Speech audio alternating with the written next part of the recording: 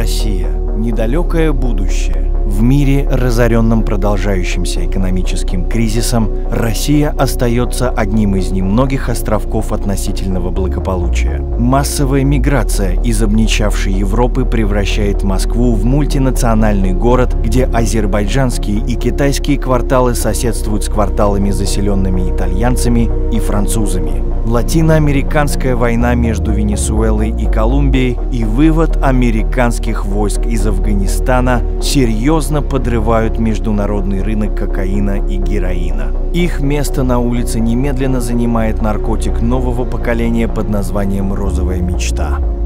По всему миру начинаются гангстерские войны между старыми кокаиновыми и героиновыми картелями и группировками, продвигающими новый наркотик. Антон, 45 лет, бывший офицер спецназа, перешедший в свое время на службу в наркоконтроль. Наркоторговцы убили его жену и единственного ребенка. И хотя он жестоко расправился с убийцами, Антон потерял мотивацию к честной службе. Сергей, 30 лет, молодой напарник Антона, бывший спортсмен. Он вынужден выступать в подпольных боях без правил, чтобы заработать деньги на дорогое лекарство для своей матери, страдающей от редкой болезни. Во время прослушивания переговоров мафии Антон и Сергей записывают важную информацию и неожиданно попадают под удар полиции и ФСБ, объявивших Антона и Сергея вне закона. Пытаясь разобраться в происходящем, они обращаются к своим контактам в преступном мире, но бандиты присоединяются к охоте на Антона и Сергея. Ситуация еще более осложняется, когда на сцене появляются отряд латиноамериканских наемников, выполняющих тайную миссию. Антон и Сергей решают ограбить наркомафию, чтобы потратить половину денег на свой побег из страны, а вторую половину оставить подруге Антона Ольги и ее сыну, а также больной матери Сергея. В перестрелке с наркоторговцами Антон смертельно ранит бандита по кличке Бабушка, который оказывается его другом детства.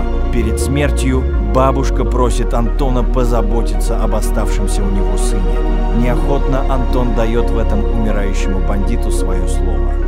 Объявленных вне закона наркополицейских преследует майор московского уголовного розыска Юрий. Он приходит к выводу, что обвинения против Антона и Сергея сфабрикованы. Его подозрения усиливаются, когда дело передают под контроль Константина, полковника ФСБ. Антон и Сергей посылают Юрию запись, из-за которой все началось. Юрий узнает голос Константина, обсуждающего начало полномасштабных поставок на мировой рынок наркотика «Розовая мечта» как часть глобальной тайной операции российских спецслужб по перехвату контроля за международным наркотрафиком у ЦРУ. Антон и Сергей приходят забрать сына бабушки и попадают в засаду, устроенную латиноамериканскими наемниками под командованием Константина. В финальной дуэли Антон и Константин убивают друг друга.